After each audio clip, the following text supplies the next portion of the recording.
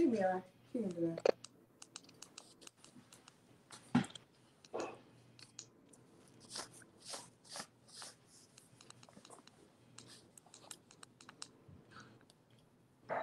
Okay, and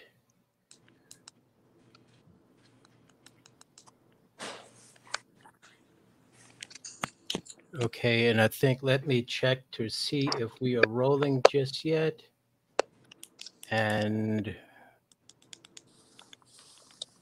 give me just a second here. My go live. Okay, looks like we're ready now. And here we go.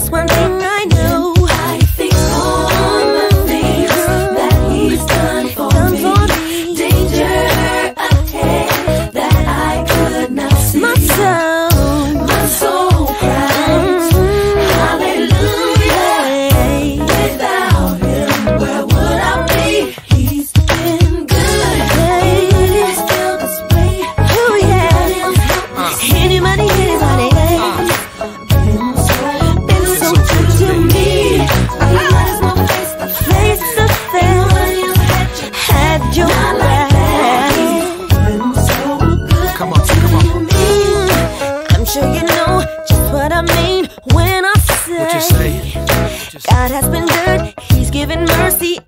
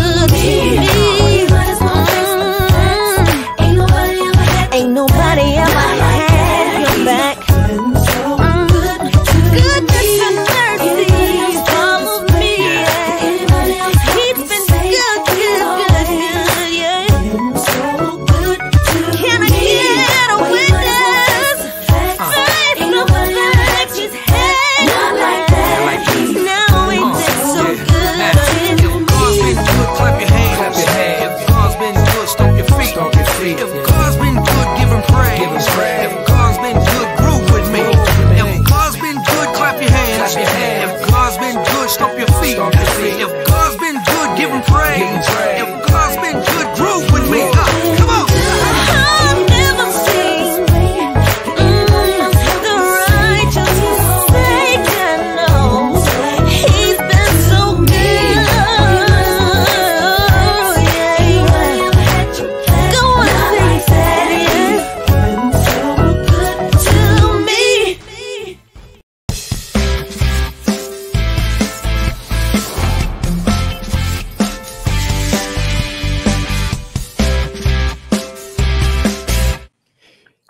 Good evening, everybody. I'm Eric J. Chambers, and welcome to the Cut Chronicles, where we chronicle urban life.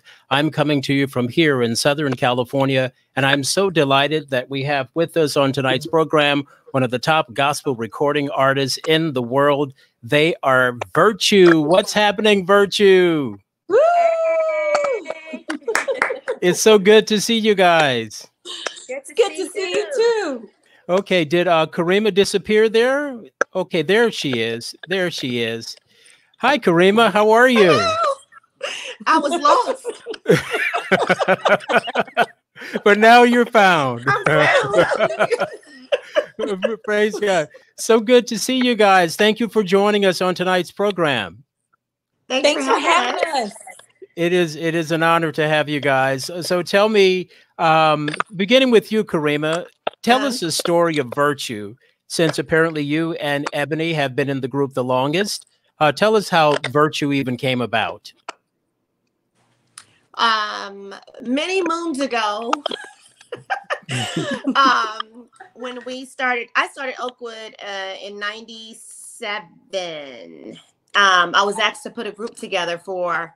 Um, we went to Oakwood University in Huntsville, Alabama, hmm and I was asked to put a group together because Ebony had told everybody that I can sing before I got to, to actually attend college. so I had to That was like put a group 1992. together. Was it? 92 or 93. Yeah. Okay. Oh, I Okay. said 97. I'm sorry. 97 is when the first record came out. So 92 Okay. is when the group formed. Um, you know, attending Oakwood College, it's it's a Christian university, so there are like it's worship service every Friday night. And so I was asked to put a group together to sing. And so I was like, well, duh, I'm gonna use my sister. And I had two other friends that were um, you know, that I knew and loved and knew that they can sing too. So we sang when God is in the building for a Friday night program and it took off. Like it went, it got all the way, it was recorded and it got all the way to California and New York and all of the places. And we were told to stay a group. So we we we remained a group and uh, we weren't called virtue. I think we called ourselves endurance at the time because we couldn't think of anything else. And there was this group Okay. in New Orleans. it was all guys, and they were called Endurance. I was like, we gonna use their name.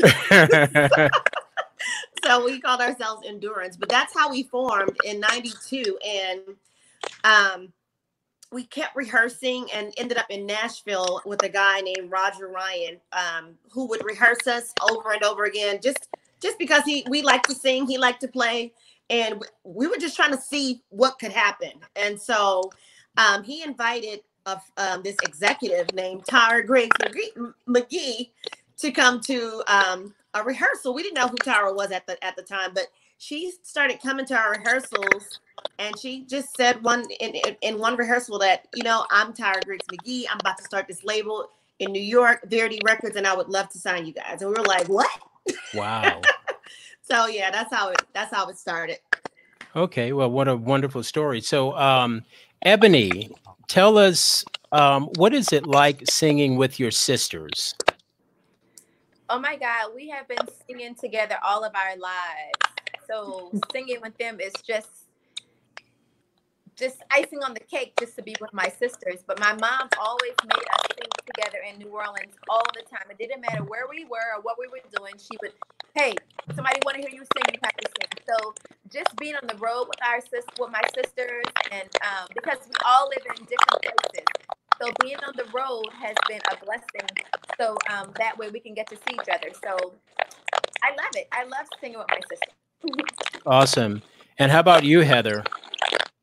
The the same. I couldn't imagine doing it if it were not with my sisters because it's just they're my best friends. So it is it's a blessing and it is wonderful to be able to have your family on the road because a lot of times you're you spend a lot of time away from home. So to Mhm. have you know a piece of home and that comfort on the road with you is like nothing else, you know, and and like like I said, they're my best friends, so I can trust them. There's not a lot Mhm. of people you can trust in the world who's gonna be looking out for you, tell you when you sound a mess or when you look a mess. and you don't get offended. So I can imagine. and if you get offended, you get over it quicker because you know they mean it for your good. So yeah. Yeah. And of course, your sister Dee, we're going to talk to her in just a few minutes. She is also a phenomenal singer in her own right. And um, I've heard some of her music as well. Um, what is the biggest challenge that you guys have? Because I see other uh, other groups, um, and and and if I don't know, I, I can hear a little bit of feedback on on somebody's. I was gonna say is I don't know who's okay, there I we go. what that That- is. Ebony. Yeah, It sounds Okay. That's not me. it sounds like somebody's eating something. sound like I know it. I know it. Yeah, it sounds like some Cheetos or something going on there. Huh? what I don't know that what that crunching sound? yeah, I don't know what it is, but um, there we go. Okay, oh, stop. Oh. it stopped there. So uh, where was I? I was. Oh yeah, I know where it was. You know, there's a lot of uh, other groups that sing together. Just say, for instance, like the Braxtons, and of course, we also see the drama that go that's going on in their family. And I really feel for uh, what Tamar is going through. And she is actually reluctant. She said that she actually regrets doing the, um, you know, the um, reality television show that they do. Mm. And so, what are the challenges that you guys have? It, are are there any challenges? I know that you guys are all in separate cities, but are there any challenges whatsoever? Yeah that would be the biggest challenge i think is not living in the same city so um, a lot of opportunities that we would have to be able to rehearse and to you know just be together um, it's lost in not living in the same space in the same area where you can just drive karima and i don't live far from each other but for ebony she's pretty far away from us so that makes it difficult but um um, other than that, I think I think the the challenges and the drama that I see in other groups. I mean, I think everybody experiences a little that in in all families. There's always going to be something that you know tries to steal your focus, but we pretty much stay grounded because of um, I think my mom Right. and um, the dedication that she has to God and her constant reminder to us rings in my ear that it's not about us. It is not about you. It's about Jesus. This is what we're doing this for. It's about Him and for His glory. And when you keep Him at the focus of it and at the center of it, then it kind of helps to weed away all of the drama. All of it, none of it gets bigger than Him. Mhm. And if you let it outshine, you know, it's just with life, you have to keep your eye on the prize and stay focused. And when you lose focus of God, there's all kinds of stuff that comes in, challenges here and there. But I would say that would be our number one challenge is not living in the same city. And uh, is your mom Rebecca? Is she a singer as well? She is. Yes. Okay, so that's where y'all got it from, huh? Ebony, tell me about it. My, my mom used to um used to sing with um with um Aaron Neville. Aaron Aaron Neville. Neville. Oh, really? little little Millette and the Creoles, long, long time okay. And um, you know, when she gave her life to Christ, she said that you know that that wasn't the type of music that she wanted to ever sing ever again, and she would only use her voice to sing for Jesus. And so um, she didn't go and record in New York when she was supposed to. She gave her life to Christ, and she sings in the church, and she has a beautiful, beautiful voice, and I think that's where we get it from. Oh, nice. And how Mhm. about your dad, Lewis? Did did he sing as well? Not a lick. No,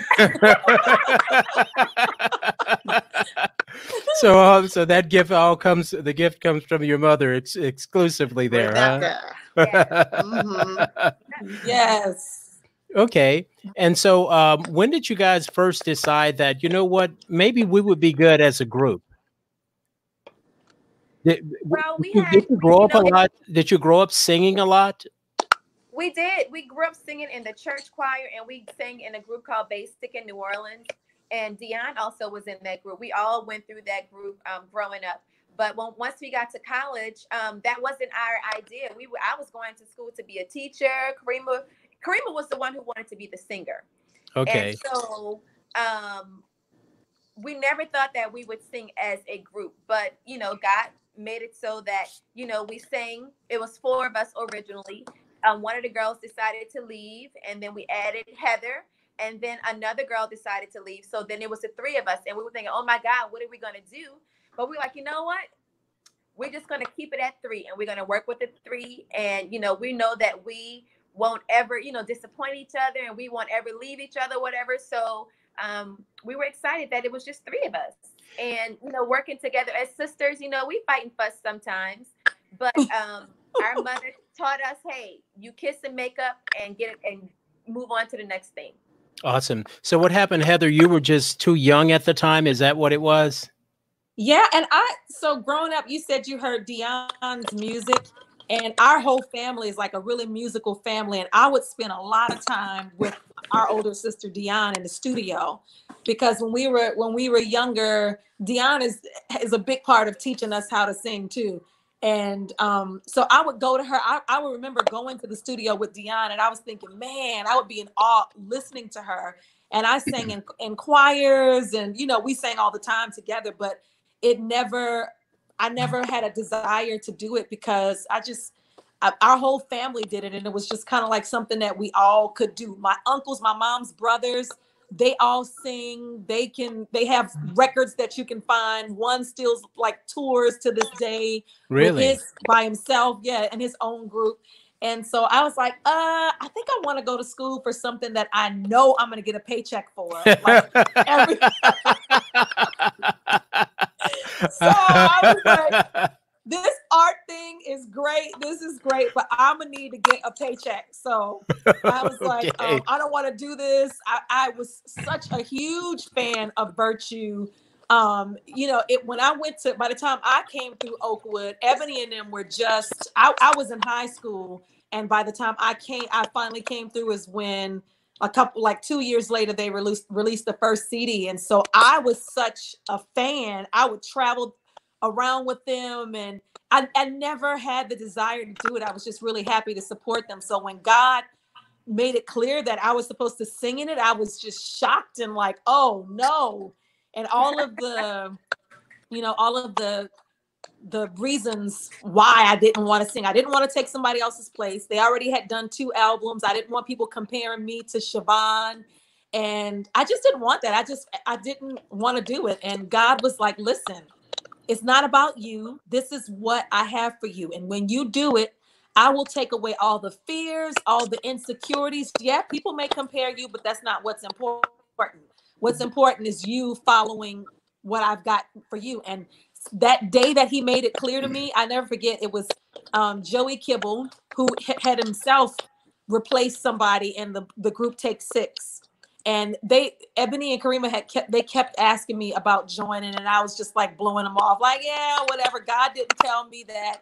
And one day he told me, listen, you know, I took somebody else's place in the group, so I know how you might feel, but I feel like you're not taking it seriously. And when I say seriously, I mean you're not taking it to God in prayer. So what you need to do is don't tell anybody about when you're praying about it and take like a week to pray about it seriously and see how God moves. And at the end of that week, my mom, I didn't tell anybody. I, I did what he said to do. My mom knocked on the door and she hands me this book. And I'm telling you, the chapter that I read was an answer to it. It couldn't have been any more clear that I should be a part of virtue if it were written in the sky at that Awesome. point. So that's that's how I I, I didn't I didn't want to sing, but God was like, this is what you're gonna do. Awesome. For those of you just joining us, I'm Eric J. Chambers. This is the Cut Chronicles social media edition. My guest on tonight's program is Virtue. They are from the city that care for God, New Orleans, Louisiana. Not only are they my homegirls from Louisiana, but they're also my cousins, as their dad and my great grandmother were kinfolk. In fact, I got a magazine here. When I had you guys on the front cover of my magazine, this was in 2000, the spring of 2000. I had just gotten married. Let me uh, go full screen on this. But I had just gotten married at the time. And what happened was um, one of our cousins, Alma, who was there at the event, she, um, let me get this squared away here. Yeah, there we go. And as you see, Yolanda Adams and uh, Yana Van Zandt, and she told me at our reception, me and Shauna had just gotten married, and she said, "You know, they're our cousins." I was like, "Who?" She was like, "Virtue." I was like, "Really?" And that's when she broke it down to me, uh, who was who, and I was so delighted about that. And I am uh, just super proud of you, ladies. And on top of that, you guys, everybody are Saints fans, and uh, you guys are New Orleans down to the bone. Even though you live in other places, I see you guys representing hard and heavy in your respective cities. I know forever. And of course, Black and gold. exactly. And of course, Dee, your sister Dee Carter, she is joining us right now. What's happening, cousin Dee? Hey, what's happening? How you guys doing? So glad to be here. It's a it's a pleasure having you here. Of course, you're there in Atlanta, and you said that you guys had some uh, bad weather, huh? Yeah, I apologize for this bad connection. I'm on. I'm actually on my cell phone because all of our internet connections are out. There are trees down around here. It's crazy. Okay. Well, the important thing is we have you here. So, Dee, you were telling me about uh, your career as a singer. Once upon a time, you had a song out. Tell me about that.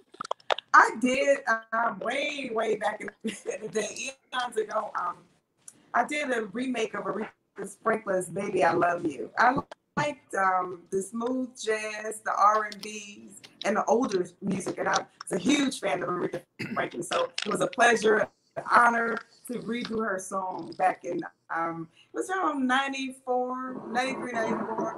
Did a lot um, in the airwaves. Okay. And did you ever get a chance to meet her? I had, had never gotten a chance to meet Aretha, so I was so sad. I had met people that had written for Aretha, um, like John Brunson, you know, folks that had written for her, but I had not gotten a chance to actually meet her face to face. So of course I, can't was hear her. Yes. Okay. Um, I, I was blessed to get a chance to meet her at the uh, NAACP Image Awards a few years ago. And of course, we lost her uh, around this time last year, uh, last summer, I believe. And um, but I thought you did a great job with the song. Thank you. Thank And and, and have you ever have you ever performed with your sisters with Virtue?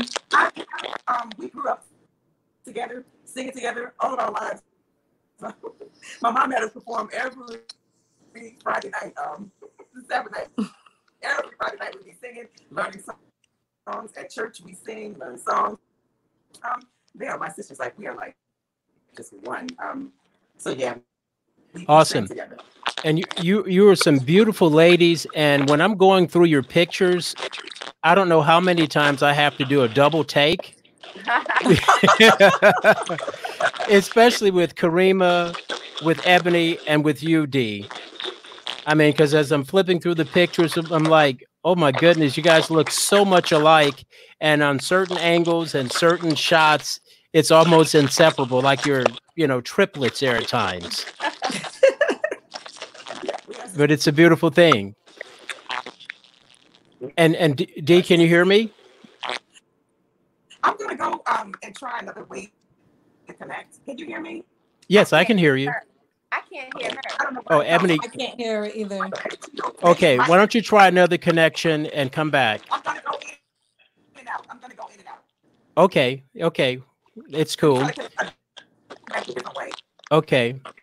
So, uh, Karima, tell me what is happening right now with uh, with Virtue uh, as a group. I know that, of course, we have the pandemic, but prior to that, were you guys still touring? Were you uh, recording? What what was happening? we um we weren't touring a whole lot but we did get to do one last thing before everything shut down in march we did a radio awards um was it what was was it called Soar justin uh oh god francis has a, he has a radio station Thor he- Awards. The What is it soar, called? soar, she said. the SOAR Award. So we got to do that in March, and it was a we paid tribute to Mary Mary. That was a lot of fun. It was a ton of artists. Everybody was there. Um, and prior to that, we did record a song with Ace of Ward that we're still trying to work on to, you know, with all of this new technology stuff and how to get it out since we won't be able to like physically go somewhere and have someone do a video. um, for us. So we're Mhm. trying to figure it out. But yes, we have a single that we are planning to release hopefully soon. So that's what we've been up to, and it's been you know up and down with um, just the the the actual uh, the technical side Right. of trying to. But, but most but most important thing that we this year we released a 31 day devotional. Oh yeah, that's right.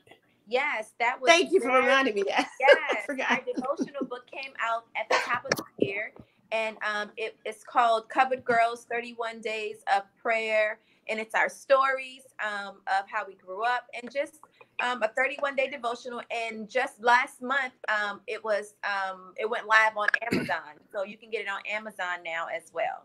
Oh, how we're excellent. So it's 31 days of a devotion. So did you guys like take turns writing uh, specific dates? Is that how it worked? Yeah. we did that. We Yes. each took our, um, time and we split 31 days, and we wrote those together. Oh, there's Okay. Dion. Okay, Dion, can you hear us now? I can hear you guys. Can you hear me? There you go. wow. Much better. This was my connection. I'm so sorry. It's the storms over here. No problem. And Dion, tell us about, in addition to music, I love the fact that you guys all love to cook. Because I've seen every one of you guys create stuff. And, and Karima, do you still do the soup? Um, yes, but and no. I, special orders, but you know, with with the way my soups were shipped, I Uh-huh. can't guarantee that they'll be there in two days, so they're perishable, so they won't be in condition to eat. So I haven't been shipping on purpose, but I have a few people here in the area that you know I make special orders for. But Dion, um, Oh, You I'm back. okay, there you go. Yeah. Okay, you were saying something about Dion. I was just saying you you asked Dion about um, cooking, and yes, we all have a knack for cooking. But Dion was in the kitchen cooking up some some some uh, Red's kitchen sink. well, that's she got, great. She got she got the real goods over there. So tell us about that, Miss Dion. You know, um, being I was a nurse for the longest, like most of my life, right? So working at um, Walter Reed Army Medical Center, I, I I got to float around and work with a lot of oncology patients, right? Mhm. So during the course of a lot of chemotherapies, the patients would complain about dry hair, dry scalp, um, everything, and they would ask me, "What are you using on your skin?" Well, I was growing a garden in Maryland, so I would take the rosemaries and the herbs and mix them with the different oils, and I would make potions for them, and I would actually give it to them, and they would rub it on their skin, and they'd be so relieved. So I would just give it away as gifts back in Maryland when I, you know, I used to live in the DMV area. Okay. Um, so fast forward, I moved down to um, Atlanta, right? Okay. Lost my job, and I didn't know what I was gonna do. And my cousin kept telling me, "Girl, you should sell those things that you're making because the people in DC where you were giving it to them, they were going through chemo, and it was making their hair grow back." Wow. So I started selling it one jar at a time, and you know, it just took off. I, I'm just so thankful. Things that my mother taught me, you know. Okay. Well, I tell you what, for those who have uh, who are not familiar with it, I'm going to give them a taste of it. And of course, I saw some of the incredible quotes that were on Amazon. Take a look.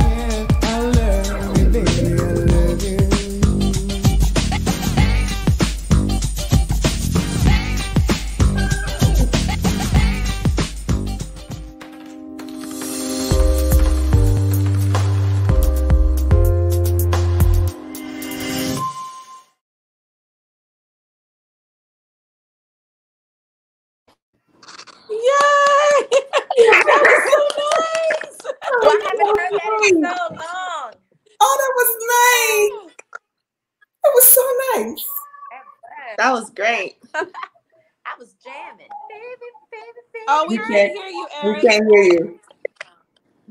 We Can't hear.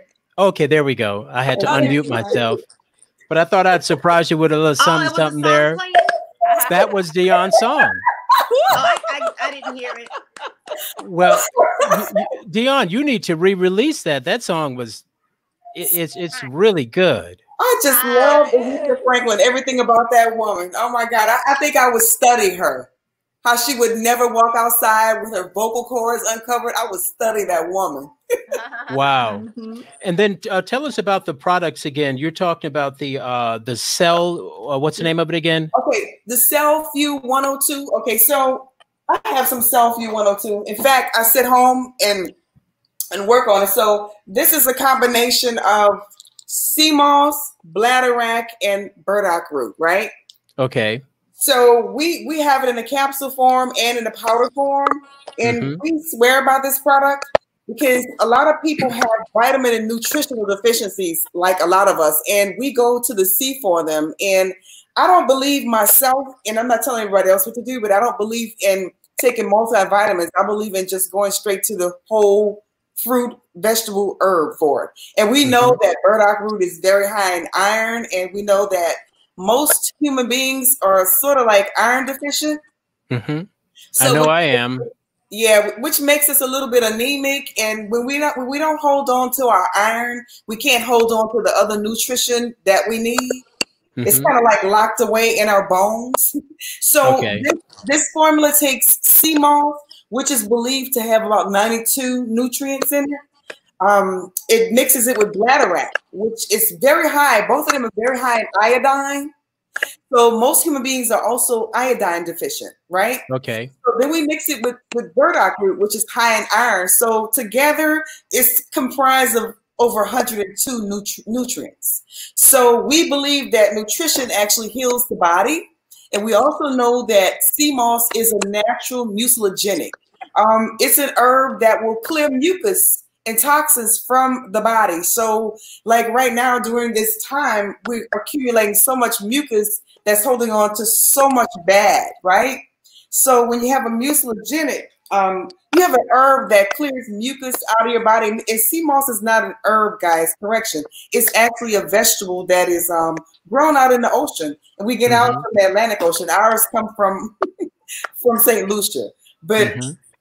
We know that uh, these things build uh, bones, they lubricate joints, they help libido. Men take it for their libido when they want to, you know, make extra kids. okay. You just want longevity. You want extra energy boost. This is what you Extra need. kids, huh? A lot of times you can help heal the thyroid. you know, I, I, I, I, I would like an extra. I got one daughter. I would like one one extra. So well, you might want to look into moss, uh, vegetables. But I, I, I say that because um, I know you see the disparity in the numbers for the COVID 19. right. Like things attack our community a little bit harder because a lot of times our thyroids are not up to you know up to par.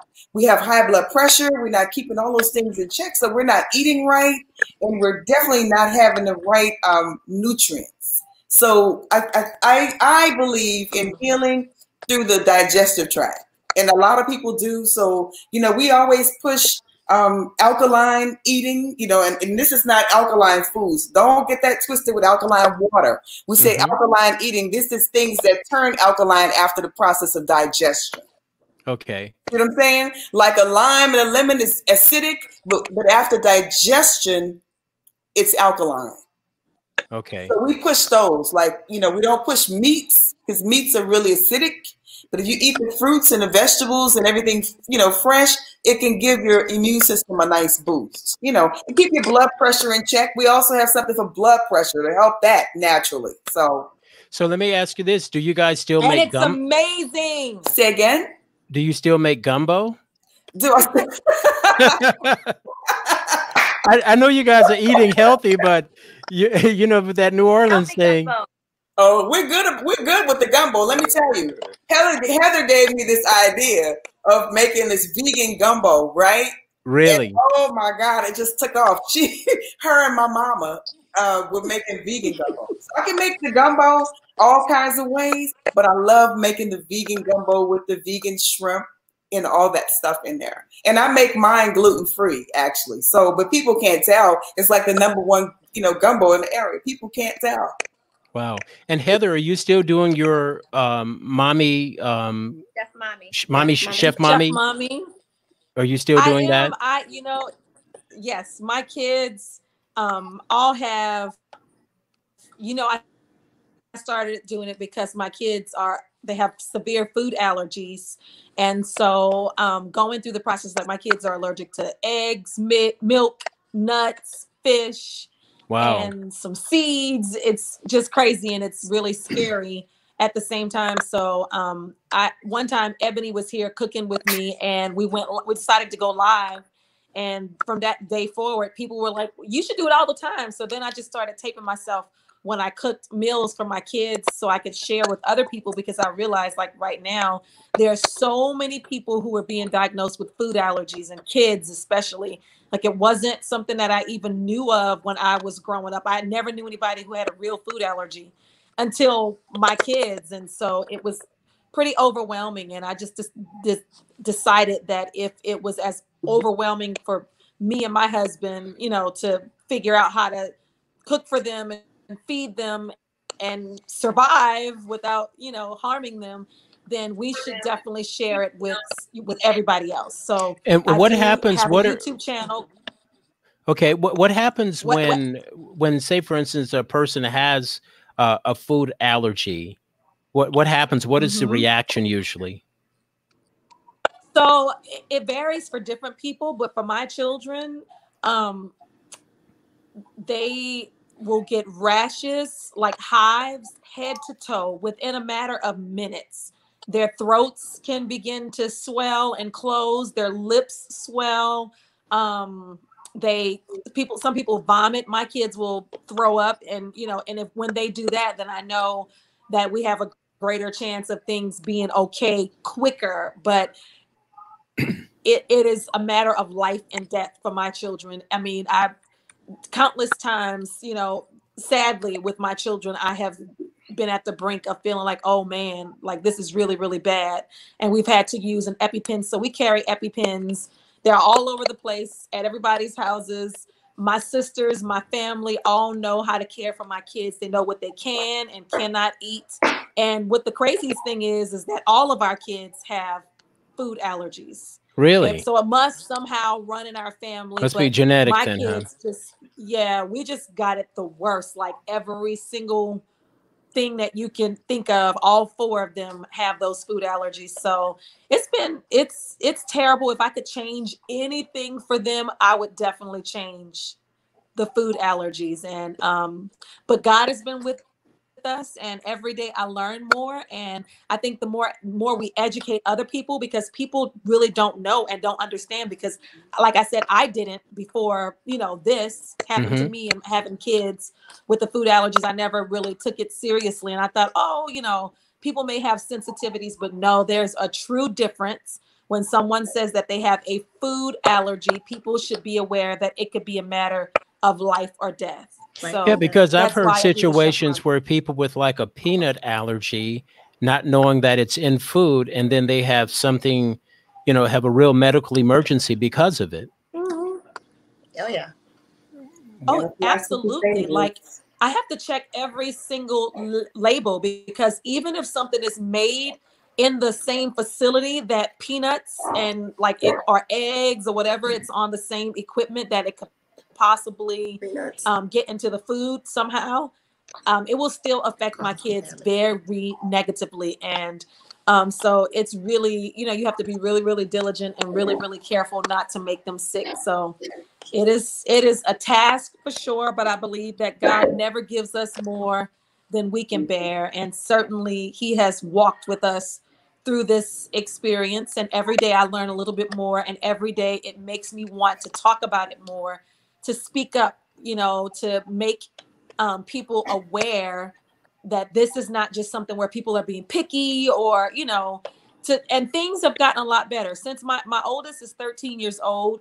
I think labeling on products have gotten better. People are taking it more seriously. In different restaurants, you can go places and people actually understand that oh, what a food allergy means, and you know all about cross contamination. But it is my aim to educate the world as much as I can from my little platform about food allergies, and then to let other people know who do have them and do have you know who are parenting kids or anybody with food allergies that you can make it. If I can do it, you can do it and you your kids can be happy and healthy. They don't have to miss out on treats and the the normal things that people have, you know, the things that the foods that you were used to growing up eating, but your kid can't eat because they have an allergy now.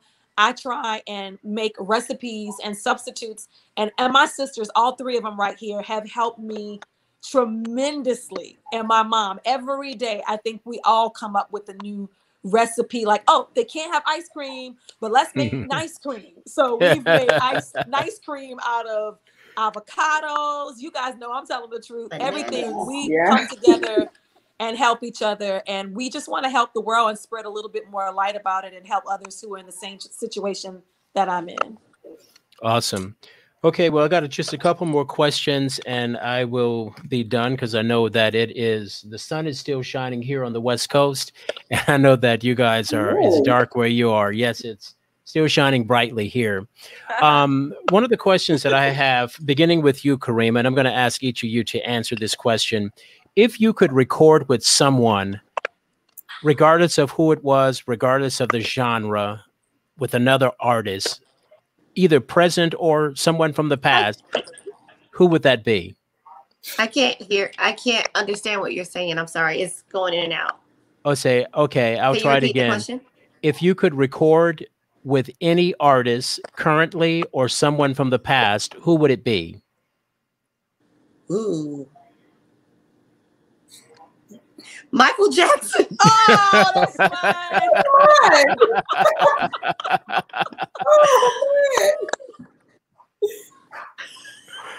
okay. I love Michael Jackson. okay.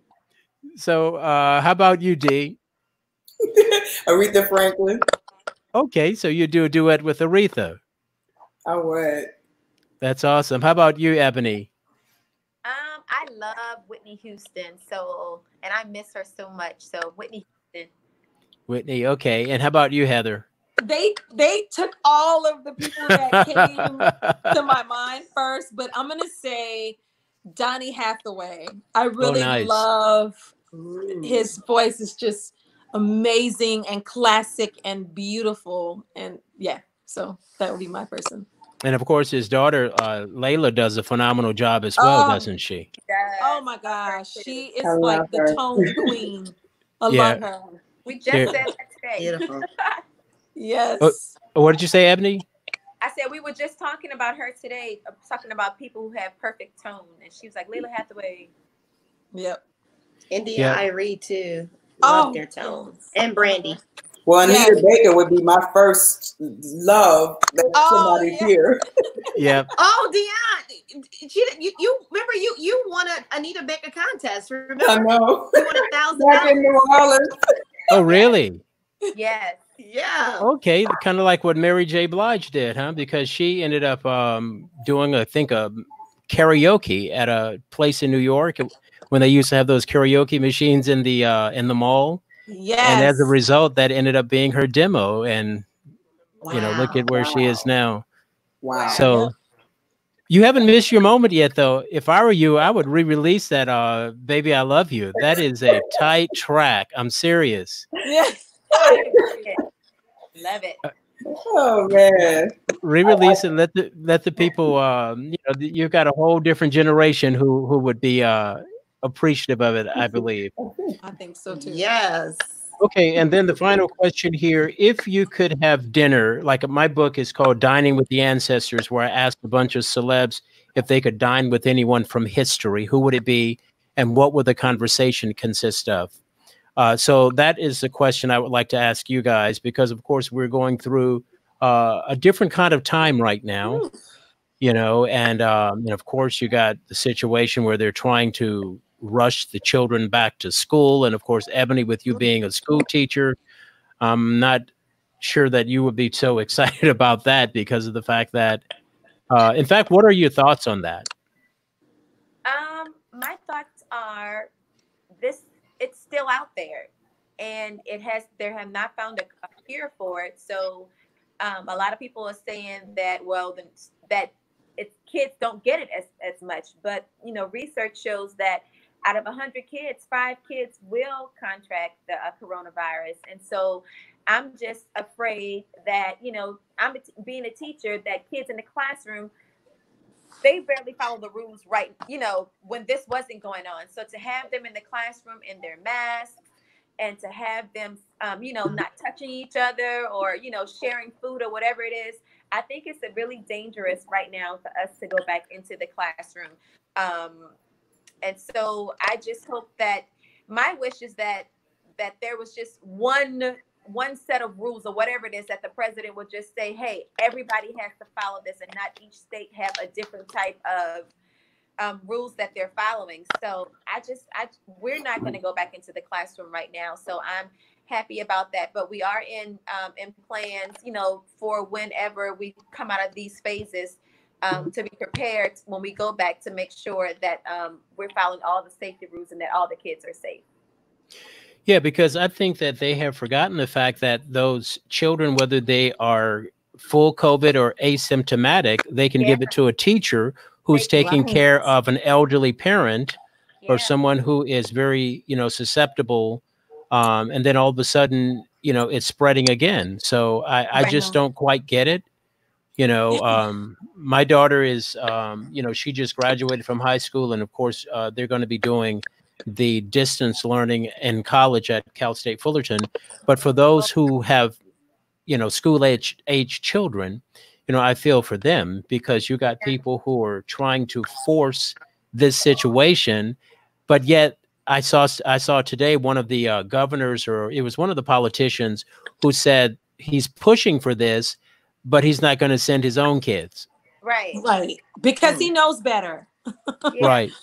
It's it's okay. ridiculous. I think that it is, and as a as a mom of four school age kids, um, I had to make the here in Alabama, they gave you until Monday at noon for you to decide that you're going to keep your kids at home and do virtual education, and you can opt out of it at each nine weeks. Um, but I really, you know, for from the kids' point of view, like you know, people, my kids, of course, they want to go to school. And I really wish that they could go to school, but they know from my mouth as a mother that you're not going to go because it's, I'll be playing Russian Scary. roulette with Right. your life and with the lives of everybody who is around us. And so I really wish, like Ebony said, that they would just have one set of rules that we could get past until we see the numbers go down all the way. But it's ironic to me that they're forcing kids into school when the numbers are doing just opposite. When just a few months ago, that's the whole reason why we stopped going to school. Right. And the numbers Absolutely. they weren't nearly where they are now. They're skyrocketing, and you're saying, okay, we're still open in school. So I just think that people are being led by n- not not putting our lives first, is by the dollar instead of our lives, which Right. is You know a why? plan. You know why? It's just not enough is known about this virus, right? Not Right. enough is known about this virus, and everybody is jumping, you know, through hoops trying to prevent everybody else from catching it. But our officials are over our heads and they can't come together. Right here in my state, they can't come together. Like our governor suing our mayor of Atlanta, you know, for a mask mandate. This, this is crazy. So if if this kind of bickering is going on at these levels, what about the people down here? Right. Right. Everybody's confused, but I tell you what, what everybody better do, y'all better make sure you get your immune systems up to par. This this is that's not the end. This is not the end. If you know you have high blood pressure, if you know you have other comorbidities like asthma, diabetes, things that affect us, um, things that affect our ACE inhibitor qualities. Y'all got to get on top of it. I mean, everybody has to get on top of it, but you got to protect your immune system because that's the only thing you have these days that's going to may save you, to save your life. And the thing about it absolutely. is, uh, age is not a factor because you. I've seen a person who's 102 years old who got over it, and then I've seen um, someone I think as young as seven or six years old who you know who died from it. Right. Right. and and I know at least about four people personally, and then I know other people who've lost people because on my uh, Jasper radio show on Sunday, you know, I mentioned uh, four names of people. Of course, the gospel recording artist Troy Sneed died from it Yes. on April that. 27th in Jacksonville, Florida. So this thing, it has no respect of person, and of course, um, you know, y- y- I th- everybody's right here. If if the federal government can get on the same page with others, then I think just like in Canada, I read last week that Canada only has about 500 cases a day in the entire country. Wow. How many cases in the entire country? 500. Wow. but you know what? the That's reason true. why is because they said that they took it seriously from the get-go. You know, while Trump and these other people were talking about it's a Democratic hoax, and they were trying to uh, sweep it under the rug. Uh, Canada and the people there, and then some of the other countries as well. They took it seriously. You know, they, uh, you know, when they put the mask mandate out, they didn't have people protesting. It's like you're protesting for the right to go under, uh, to get on a ventilator Right. you know, give us a break. And Karima, you have a, a school a school age child as well. Yeah, uh, Carly's in, going to the. She's going to be a sophomore this year, tenth grade. But um, the Nashville Met, Metro schools, they've already um, committed to online learning. Um, Carly's good. school, they will. They tell us maybe like a couple of weeks before. They they're just trying to stay positive, but it's not going to happen. I, in my experience with them, they they just wait to the to the very last minute to give. I don't know to give the kids hope or what, but I I don't agree that they go back either. It's it's really bad, and more than the school stuff here. Like you know, Nashville is a tourist city, I guess, like every other city, but Broadway, oh my God, y'all! It's they showed it on the news. Like no one, like crowds of people, like they just in like no mask. No one has a mask Really? on. That's crazy. That is crazy. No one has a mask on. They just showed it, and we're on we're on that list of 19 states that needs to shut down again. Tennessee does. Wow. Yeah. Well, we just have to be uh, we just have to be vigilant. We have to be smart and continue to wear our masks. Because Yeah. one thing I don't want to do is with me and my daughter or my mother, and and with you guys as well, is to become a Trump statistic. Oh, you know, because it's over 140,000 now. And as I was mentioning to someone earlier today, um, when there were four people who died in Benghazi, the Republicans had a conniption, and now 140,000 people have died from this, and they didn't have to. Yeah, there were going to be Right. some casualties, but had they had America taken Mm. this serious, like Canada, like some uh, Australia, and some of the other places, even Spain. Remember when it first happened? and it was just decimating Spain, and we were feeling sorry for Spain, and now Spain is praying for America. Yeah. right. You Italy. know, so that is uh, crazy. So, um, but the last question again is: uh, if you could dine with anyone from history, who would it be, and what would the conversation consist of? Beginning with you, uh, the school teacher with Ebony. Well, I would love to dine with the Obamas. Oh, nice. and I would talk about anything. I don't care what the subject is. I just would love to dine with them. Okay, with the Obamas. Have you have you guys met them or you sing for them before? No, none of the above. Have been in the same room, but never like in Okay. touched them. Okay, how about you, uh, Heather? Who would you like to dine with from the past or current or now? I would say Martin Luther King. I know that's probably, you know, but um I just I would like to pick his brain about, you know, what's happening now.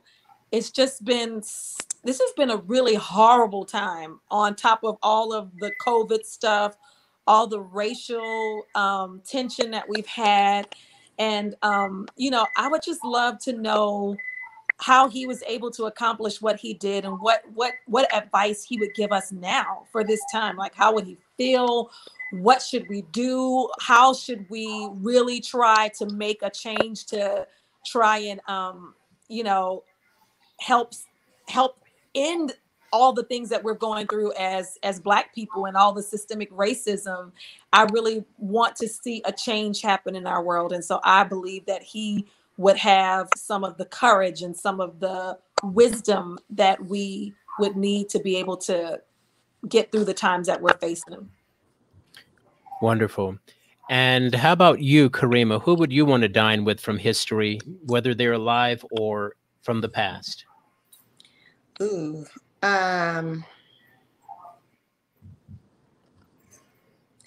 this is gonna sound funny, but I would really like to talk to Trump. Oh it does. I would like to ask him what in a few like I would I wouldn't cuss, but I would want to cuss.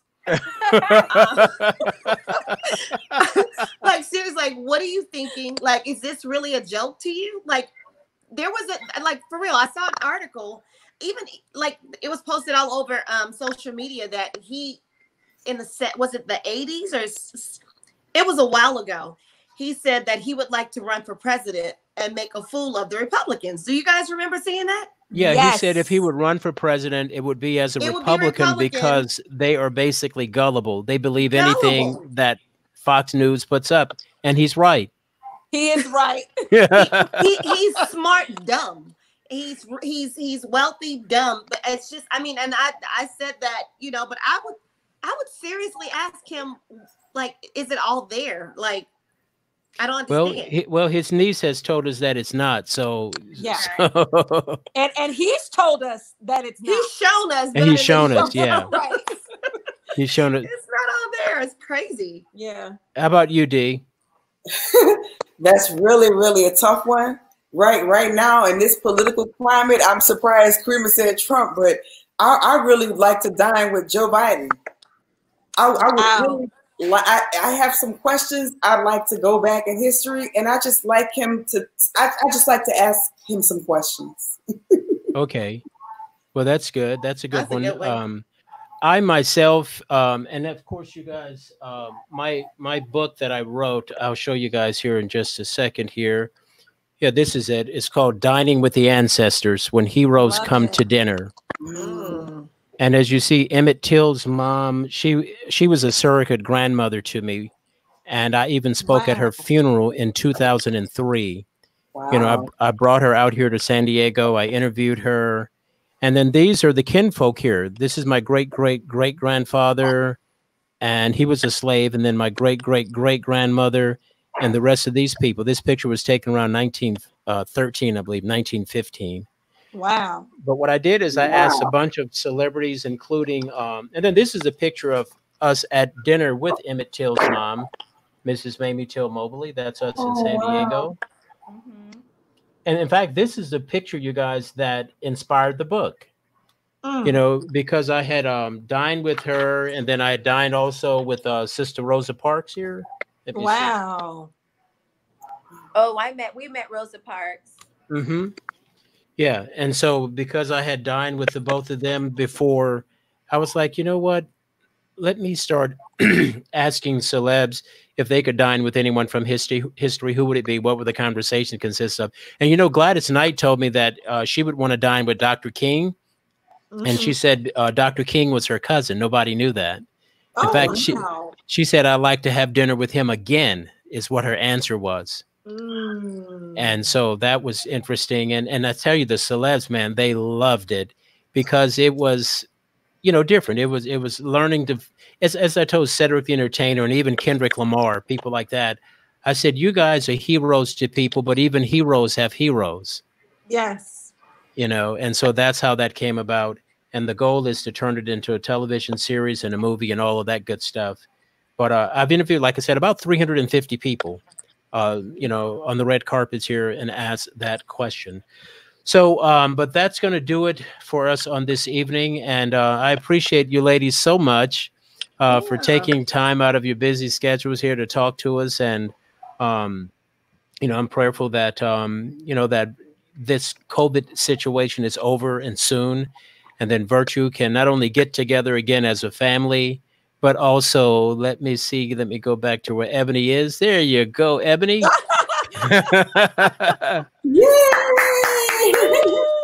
Okay, there it is. In fact, let me see. I think I did something regarding that.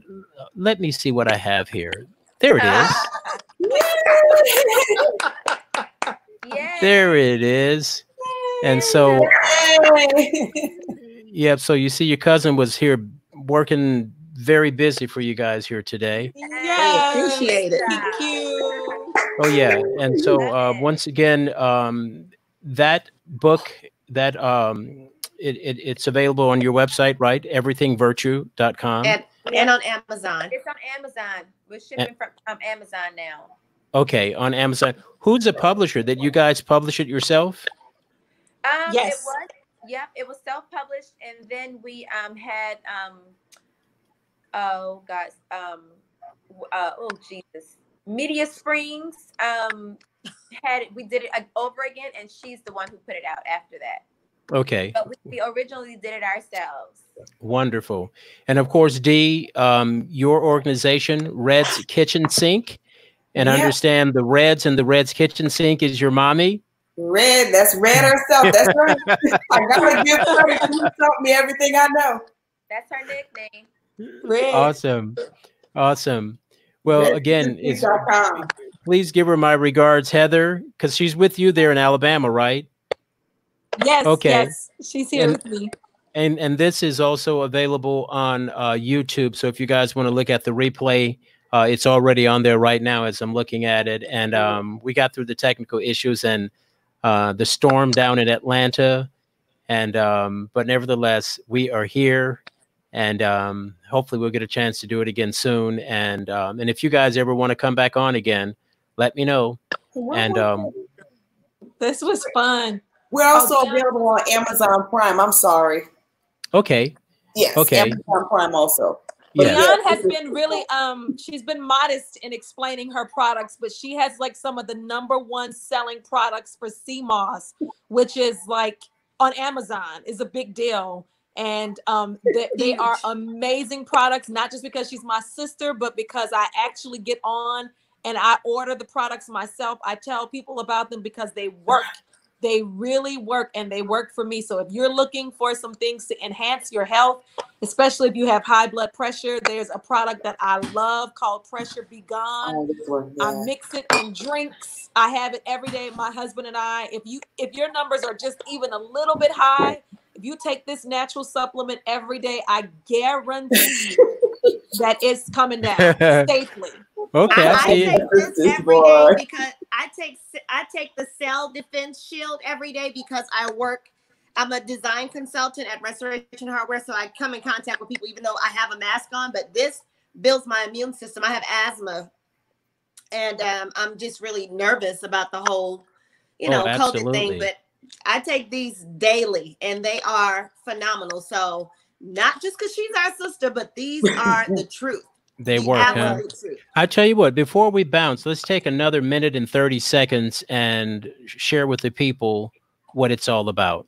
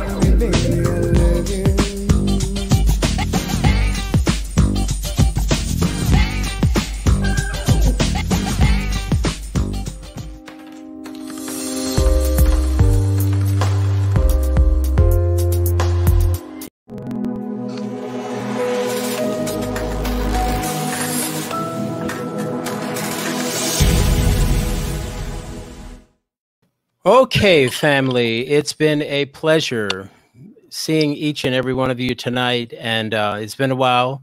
I guess the last time I saw you was uh, in 2016 Oh uh, when you came out here to LA. When I was looking at the pictures, you yeah. guys came out. So I was Mm-hmm. like, wow, I guess that's the last time I did see them. But nevertheless, I'm super proud of you ladies, and I certainly wish you the absolute best with your, um, you know, with with your your your group and with your additional products and and just reinventing yourself because that's what a lot of people have had to do during this COVID experiment experiment is um, experience, I should say, is reinvent themselves, and some wonderful things are happening you Mhm, know, that's from true. people who didn't think that, you know, whether it be creating an opportunity from home, even some of the jobs themselves that used to say, no, you can't commute from home. Well, Yep. they found a way to do it. right. So, okay. Any final thoughts? Final thoughts, Heather? No, we're really proud of you. Proud that we are we have the same blood running through our veins, and Well, we thank are you. excited to see everything that you do, and you do it well. And um, any way that we can support you, we we are always down for it. But I just want to encourage people to. Um, you know, at the when you're in the middle of a storm, sometimes it's hard to be able to see which way to go, to see when it's going to end, and all the storms that are happening around us. I just want everybody to know that Jesus is still in charge. No matter who's in the White House, no matter who is in, you know, each city over it, God is with us. Yes, he is is. in control. He will never leave us nor forsake us. We have those promises to claim. If you don't know God, get to know him to form a relationship with him. Get on your knees, pray, and even if you don't understand how to do it, just tell him that.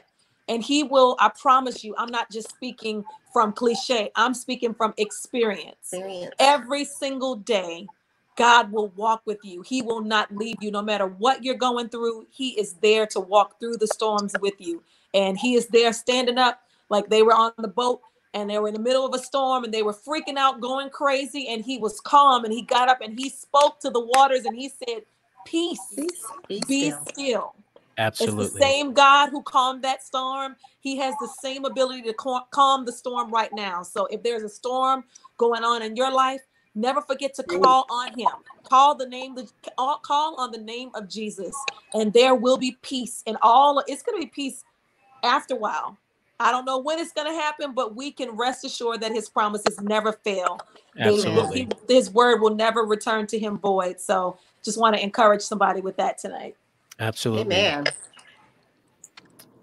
Ebony? Well, she just. I I mean, about I to say, she- keep that's saying that was a benediction, huh? Benediction.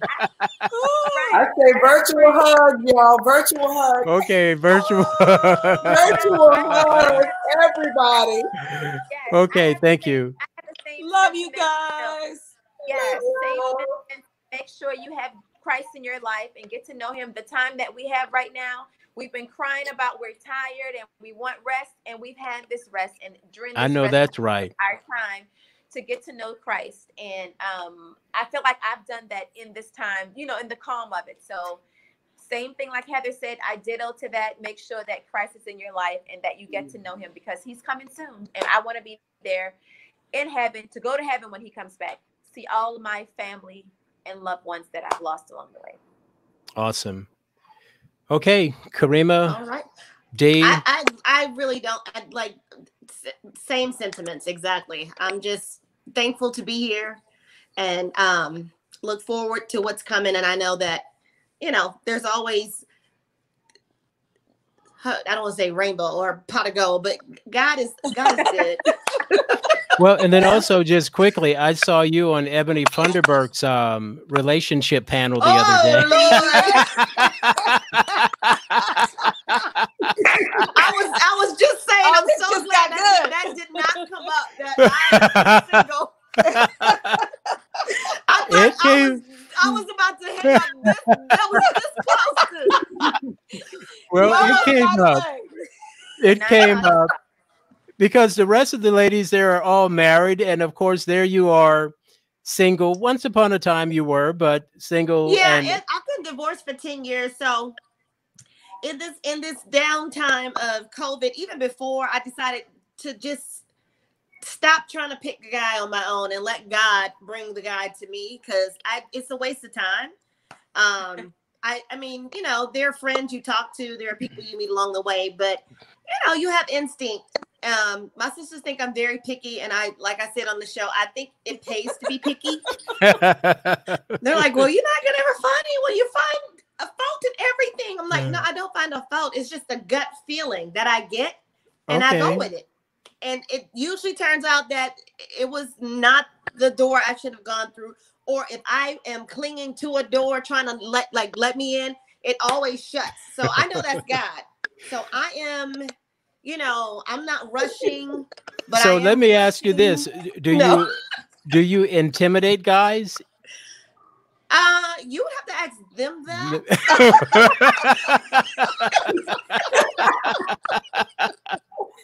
I, I, I don't know. I don't know. Um, maybe they are. I don't know, but it's it's sad if they are. But you know, it is what it is. I feel like what's for me will not pass me by, and I that is that's my that's that's my peace. You know, what's for me will not pass me by. If it if it passed me by, then God is protecting me from something.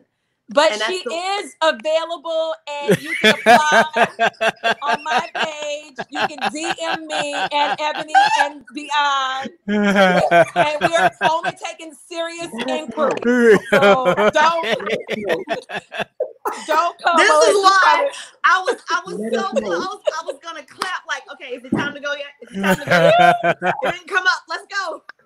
well, but like I said, when I saw, I, I appreciated how transparent you were, though, in that interview, and you had a lot of people watching there. And um, but I, I know, you know, it, it could be tough, especially for you know professional women and uh, for any woman actually. Yeah. you know and e- even with the guys it's not a gravy train with biscuit wheels by no means you know I, i've been married a couple of times i got one more i do in me and uh i i've used up two of my three so Hey, I love it. so so you can so virtue y'all be praying for your kinfolk on this side that the third time is the charm third And I can get you. Somewhere we'll and sit down. Inquiries from, from you and our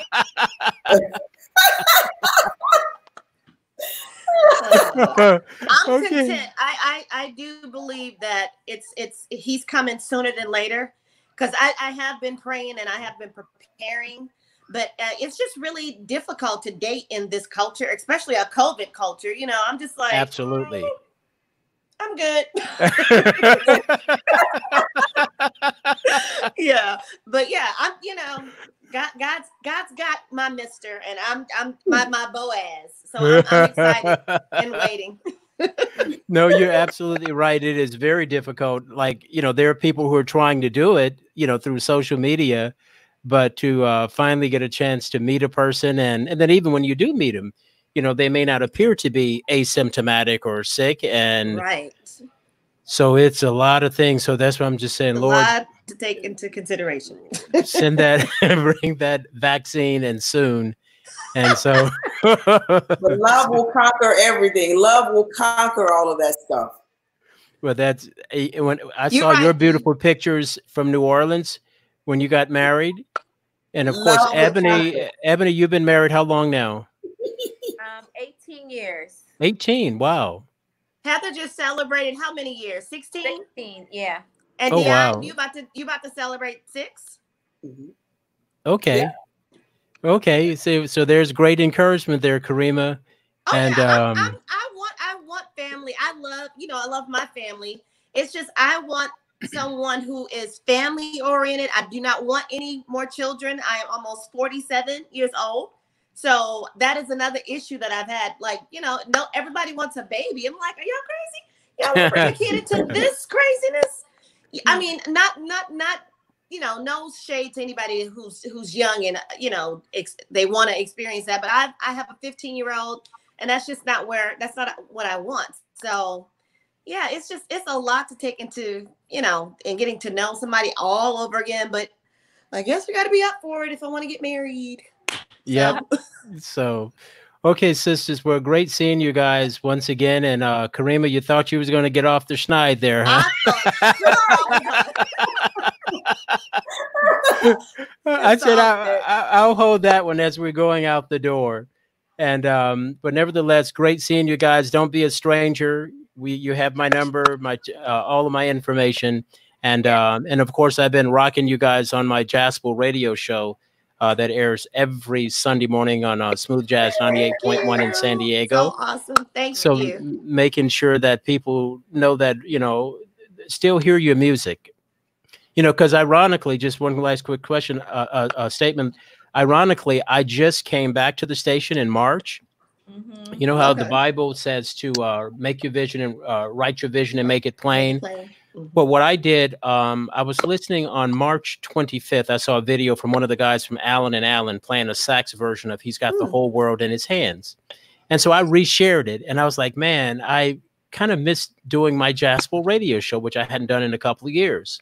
Mhm. less than a half hour later i get an inbox from the station asking one do you have a home studio? which i do which where i'm at now. And then number two do you want to bring the show back Wow. and that's how it happened within a half hour at after i posted That. that Wow. and so that's why love that.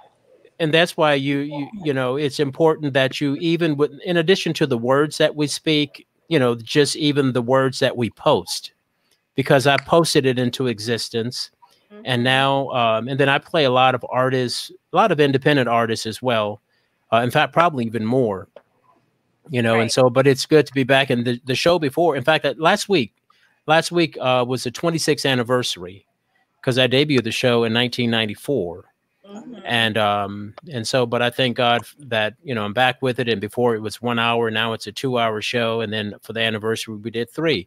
So i'm going to make sure that i uh, continue to keep my girls from virtue in the mix so that the people don't forget y'all and we look forward to you um you know coming back on the market with some brand new music in the near future okay Amen. Thank you so Okay. much. Have have a great evening. Bye, okay love you guys much and guys. we shall see you real soon bye sisters Bye. bye bye